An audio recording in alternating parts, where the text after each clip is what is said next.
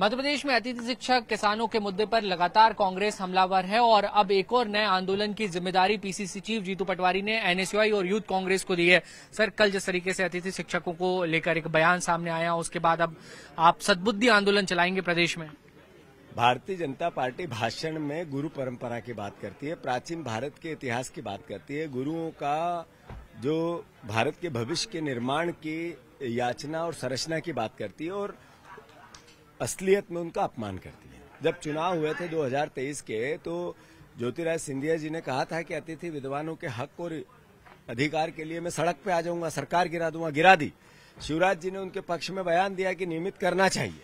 जब चुनाव हो गए, अतिथि विद्वान, अतिथि शिक्षकों ने बीजेपी को जिता दिया, सरकार बना दी, मोहन यादव मुख्यमंत्री बन गए। अब कहते हैं कि आप कब्जाधारी हो। क्या शिक्षक कब्जाधारी है? आपकी गलती थी कि आपने नियमित शिक्षक नहीं लगाए। 20 साल से आपकी सरकार है। आपकी गलती थी कि आपने पर्याप्त शिक्षकों की व्यवस्था नहीं की। आपकी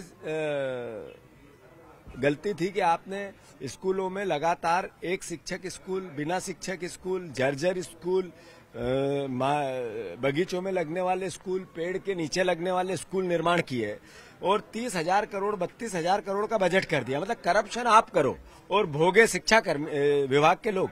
या ये अतिथि शिक्षक, ये तो अन्याय है।